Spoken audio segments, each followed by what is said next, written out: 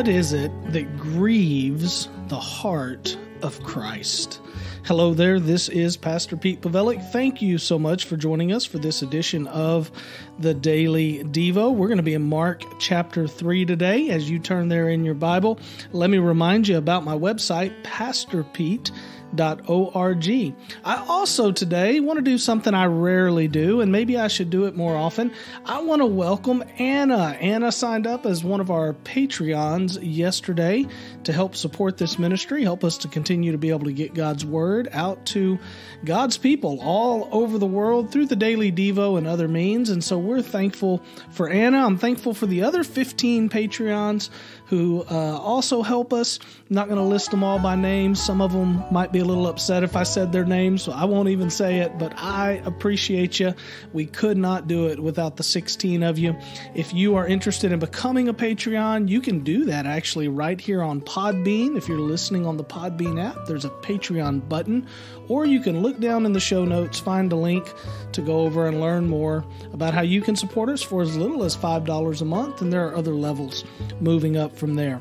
Today in Mark chapter 3, I read this, but they were silent after looking around at them with anger. He was grieved at the hardness of their hearts and told the man, Stretch out your hand.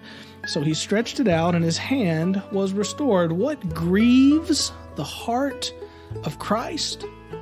A hard heart, a callous heart heart that has no room to see the pain and the suffering and the needs of people around them. Here Jesus is in the middle of a synagogue, a church, if you will, not not exactly a church, but we'll call it a church, a place where religious people are. They're supposed to be worshiping God, praising God, bringing honor and glory to God, and here is a man who needs help. And Jesus is offering to help him, but he knows they're trying to trick him.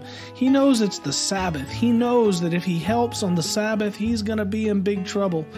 And so Jesus asks them a question. He says, Is it lawful to do good on the Sabbath or to do evil, to save life or to kill? And they don't want to answer because they're trying to trap Jesus. It makes him angry. And then he's grieved at the hardness of their hearts. Man, I pray my heart isn't hard. It's easy to get a hard heart in this old world. It's easy to become callous to the needs of others because we have so many needs ourselves. It's easy to overlook other people and their pain and their suffering because we're in the middle of our own pain and suffering or because there's so much going on in our lives that we just forget and we become hard to the needs of others.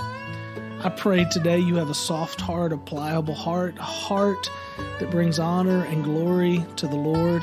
Why don't you make that your prayer today as you begin or as you end, or maybe you're in the middle of your day? Just pray, Lord, give me a soft heart.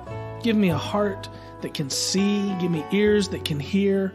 Give me a heart that can be used by you. Man, I don't want to grieve the heart of Jesus. I want to have a soft heart to bring him honor and glory. And I know you do too. I hope you have a great day. Again, thank you so much for joining me. Come visit me at pastorpete.org. Can't wait to see you again tomorrow.